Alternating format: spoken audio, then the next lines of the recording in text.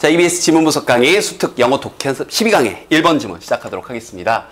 자, 이 글은 그 수메르 밑에 보면 이제 설형 문자 혹은 쐐기 문자라고도 부르는 건데요. 어, 그 문자에 관련돼서 쭉 세부 사항들을 열거시킨 구조의 글이었습니다. 뭐 쐐기 문자가 뭔지 몰라도 상관은 없어요. 알겠죠? 근데 거기에 어떤 이제 측정의 단위나 어떤 이제 포괄적인 어떤 수치나 이런 것들, 정확한 글, 어떤 개인적인 이런 건 아니고요. 보통 거래를 한다거나 뭔가 계약을 한다거나 아니 뭔가를 기록한다거나 이런 형태. 그래서 상형 문자, 그림으로 이루어진 문자에서 이제 뭔가 실질적인 진짜 글자스러운 것으로 넘어오는 그 과정에 쐐기 문자, 서령 문자가 있었다는 겁니다. 그 쐐기라고 부르는 건요. 이렇게 어, 나무에 이렇게 이음새처럼 꾹 집어넣었을 때 생기는 그런 모양새에서 그런 모양을 닮았다 그래서 쐐기, 서령 문자 이렇게 부르는 거고요. 뭐 이 정도 배경만 알아두시고요. 몰라도 상관은 없습니다. 보세요. 수메르 경제의 어떤 고전적인 모델에서 자, 템포 이제 쭉 이제 열거가 되는 거예요. 사원은요. 펑션 역할을 했는데 자, 뭐로서 역할을 했냐면 바로 행정적인 어떤 당국으로서 역할을 했답니다. 마치 중앙정부가 아니면 지금 공산당이나 이런 데처럼 어, 행정적인 어떠한 관리적인 당국 역할을 한 거예요. 근데 그게 뭐 하는 거냐면 하면서 이런 부분들이요.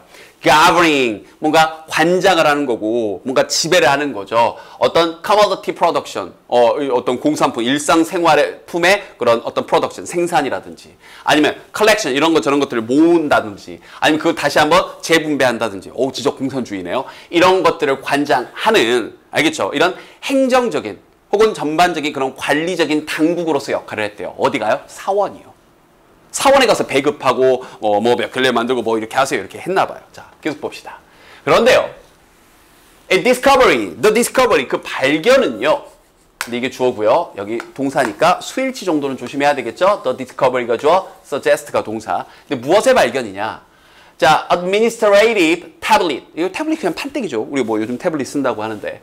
어떤 그런 이 관리적인, 행정적인 그런 판때기요. 자, 뭐에서 이 사원 단지, 컴플렉스 그런 무슨 무슨 단지란 뜻이 있어요.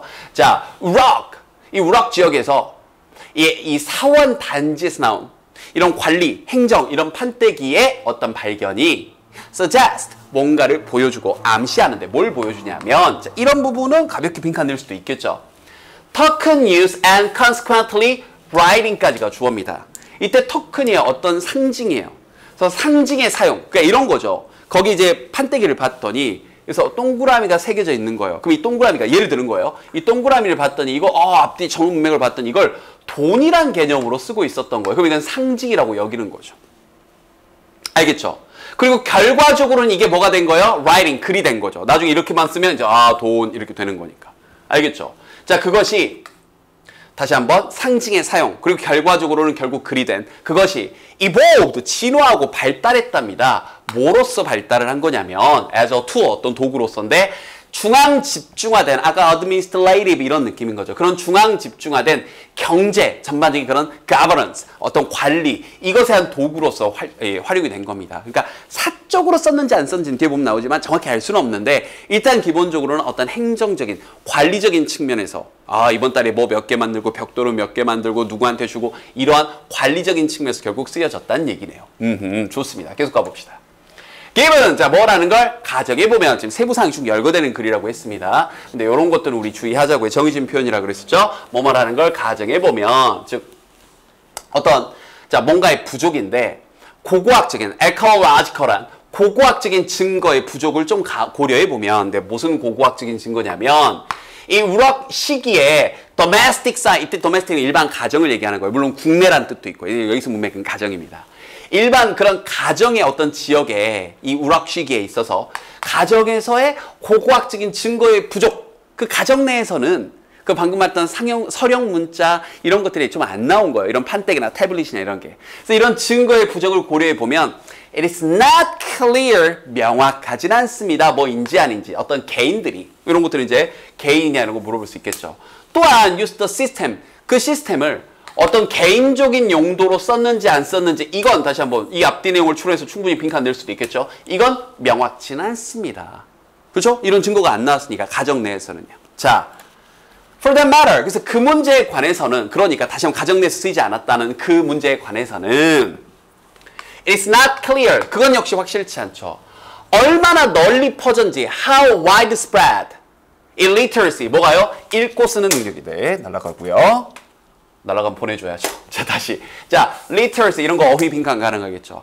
읽고 쓰는 능력이 at its beginnings 그 초창기에 얼마나 널리 퍼졌는지 이건 명확치는 않아요. 그죠? 자 그러면서 다음 얘기. 그러니까 이건 명확치 않은데 the use 그런 사용은요. 그 다음에 여기 또 주어 동사 살짝 멀리 떨어져 있습니다. 이렇게요. 됐죠? 뭐의 사용이냐면 자 뭔가 이렇게 구별할 수 있는 상징과 픽토그램이 이제 어떤 그림 문자, 상형 문자에 그림으로 그린 어떤 문자들. 이러한 것들이 이 초기 이 태블릿에서 어떤 다시 한번 구별할 수 있는 상형 문자와 어떤 상징들과 그리고 어떤 픽토그램들이 그림으로 이루어진 이런 문자들의 그런 사용이 is consistent. 뭐와 딱 일관성이 있는데 바로 뭐와 일관성이 있냐면 하면서 여기 구조적으로 잘 보세요. 이때 with는요. 여기 with에 짝에 있는 여기 leading입니다. 그럼 여기 있는 administrators는 중간에 의미상의 주어로 껴들어가 있는 거예요. 이런 거 좀 어렵죠? 다시 한번. 뭐냐면 어떤 전치사 다음에 ing가 나오게 되면 이 ing라는 동작은 특별한 언급이 없으면 이 문장에 있는 주어가 이 동작을 했다라고 보통 이해를 합니다. 근데 그게 아니라 이 ing한 동작이 다른 대상이면 여기 앞에다가 소유격이나 목적격을 집어 넣어주는 거예요. 그래서 해석도 주어처럼 하는 겁니다. 알겠죠? 그럼 다시 보세요.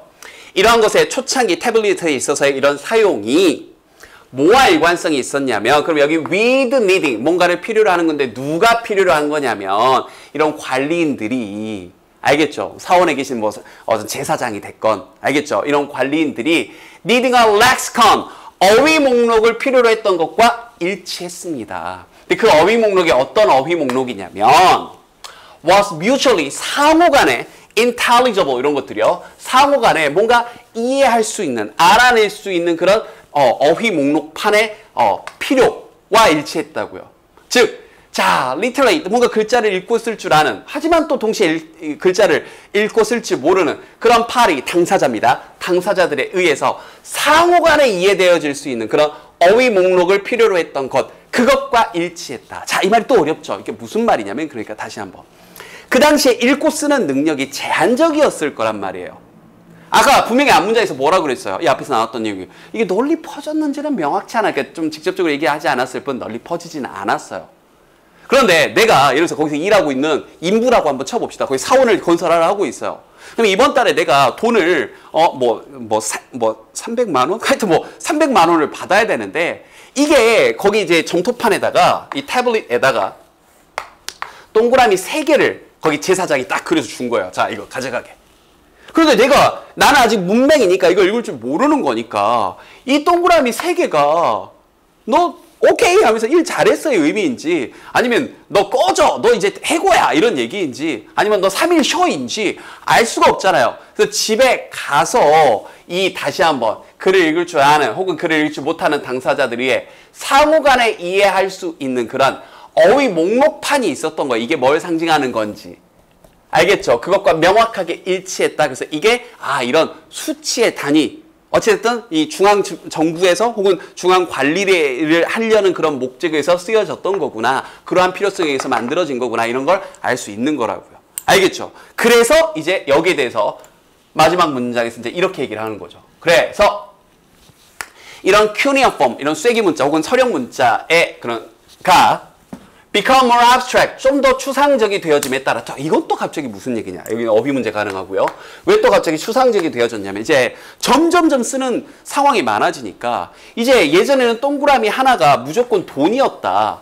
돈만을 상징하는 거였어요. 이게 돈, 이걸 상징하는 거였는데 점점점 이제 어, 쓰는 상황도 다양해지고 점점점 복잡해지다 보니까 이게 돈이란 뜻에서 파생이 되는 자 뭐가 되는 거예요? 어떤 사치, 예를 드는 겁니다. 사치란 뜻도 추상적으로 더 담게 되는 거고 사치를 넘어서 부를 나타내는 나타내는 단어가 될 수도 있는 거고 만약에 돈을 중요하게 여기는 사회라면 어떤 명예 뭐 예를 예를 드는 거예요. 이걸 여러 가지 의미 이 동그라미 하나에 들어갈 수 있게 되는 거죠. 그래서 점점점 단어의 쓰임이 많아지다 보니까 어떻게 되는 거예요? 추상적이 되는 거죠. 처음엔 돈 하나 명확했는데 그럼에 따라 알겠죠? 어휘 가능하고 특히 이 부분 이제 literacy 읽고 쓰는 능력이 have become increasingly 점차적으로 확실하게 important 뭐해진 거예요? 중요해진 겁니다. 자, 그래서 to ensure 확실하게 해주기 위해서 어떤 사람이 이해하는 걸요. 근데 뭐에 대해서 이해를 하는 거냐면 어법 가능합니다. what 뭐뭐한 것이죠. what 앞에 명사 없고 뒤에 이어진 문장에서 agree to에 대한 이 전치사 to에 대한 목적어가 빠졌으니까요. 그 사람이 had agree to 뭔가 동의한 것 그것을 그 사람도 이해했다. 그걸 확실하게 하는 데 있어서 굉장히 중요해진 겁니다. 아, 내가 지금 동그라미 세 개 받았구나. 아, 나 이제 이번 달에 월급 요거 금화 세 덩이 받는 거구나. 라고 어, 이해를 하는 데 있어서 이 읽고 쓰는 능력이 굉장히 중요해진 거죠. 알겠죠? 그래서 전반적으로 보면 쭉 세부 사항들을 나열 열거시켜준 구조의 글이다 보니까 원래 이제 어휘 문제로 나왔던 것만큼 그 어휘 문제로 나왔던 부분 어느 부분이나 아니면 선생님이 또 추가적으로 체크해준 부분 가지고 빈칸 문제 만들 수도 있고요. 중간중간 어법적인 포인트도 또 굉장히 좀 까다로웠습니다. 주위에서 잘 보셨어야 됩니다. 세부 그리고 여러분들이 이게 어려운 소재다 보니까 괜히 어려워질 수 있어요. 여러분만 어려운 게 아니니까 두 번, 세 번 반복해서 읽어보도록 됐죠?